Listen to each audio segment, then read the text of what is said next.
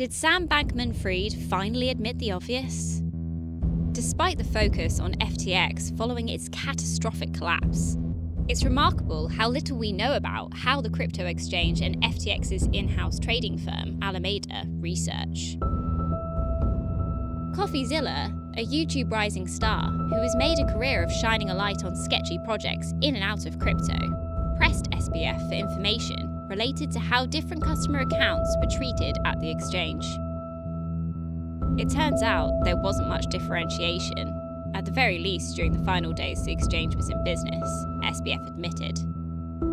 That effectively meant that there was, you know, if you want to put it this way, like fungibility created between the exchange's spot and derivatives business lines, stated SBF. At the very least, this is a contradiction of what Bankman Fried had said just minutes before when first asked about the exchange's terms of service.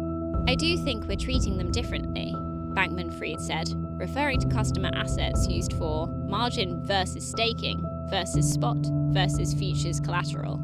All of those services come with different levels of risk, different promises made to customers, and different responsibilities for the exchange.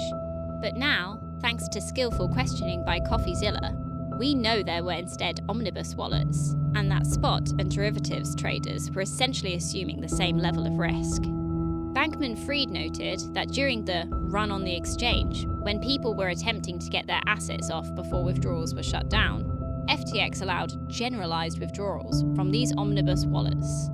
Before now, Bankman Fried had been asked multiple times about the exchange's terms of service, and often managed to derail the conversation.